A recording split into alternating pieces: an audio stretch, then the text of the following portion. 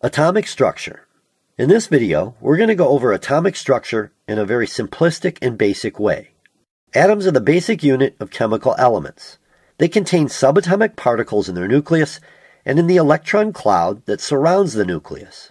These subatomic particles include protons and neutrons, which are located in the nucleus, and electrons, which are located in the cloud or field that surrounds the nucleus. Protons have a positive electrical charge, neutrons are uncharged, and electrons have a negative charge. The number of protons and electrons are equal, so atoms are electrically neutral particles.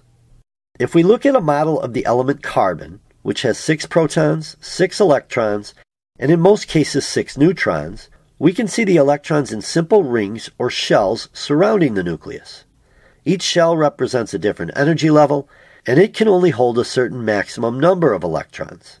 In chemical reactions between atoms, only the electrons in the outermost shell participate in the resulting chemical bond. In atoms with only one energy level or shell, two electrons are required for stability.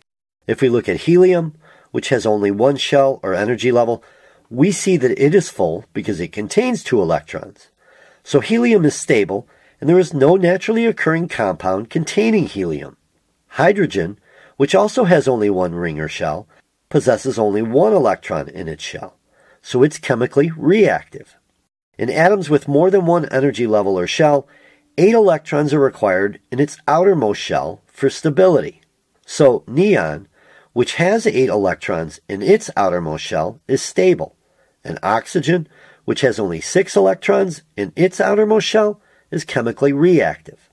Atoms that do have fewer than eight electrons in their outermost shells will try to share gain, or lose electrons in order to become stable. This is called the octet rule. But there are some exceptions, such as we saw with hydrogen and helium, which have only one energy level or shell. And that be the basics on atomic structure.